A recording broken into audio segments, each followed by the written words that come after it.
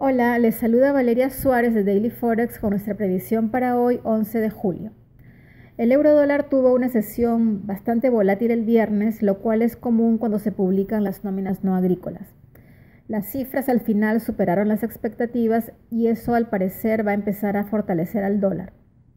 Tenemos por otro lado demasiadas preocupaciones sobre la Unión Europea y ahora por la situación de los bancos en Europa, lo cual es un asunto relativamente nuevo creo que los rallies a corto plazo seguirán siendo oportunidades de venta. En realidad no estoy anticipando una caída drástica, sino más bien un sesgo negativo en general en este par de divisas, al menos por el momento.